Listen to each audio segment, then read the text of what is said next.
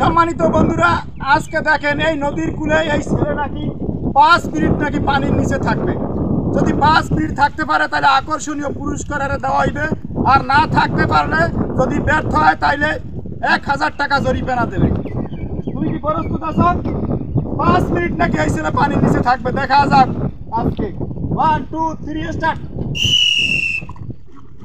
দেখতে থাকেন, দর্শক, দেখতে থাকেন। এ নাকি পাঁচ মিনিট নাকি পানির নিচে থাকে, দেখতে থাকেন। আবার বললেন না যে ক্যামেরা সরাই ফেলাইছি, আবার ডুব দিয়ে এদিক ওদিক চলে গেছে, এরকম কিন্তু কিছু না। লোক কিন্তু এই জায়গায় কিন্তু আছে।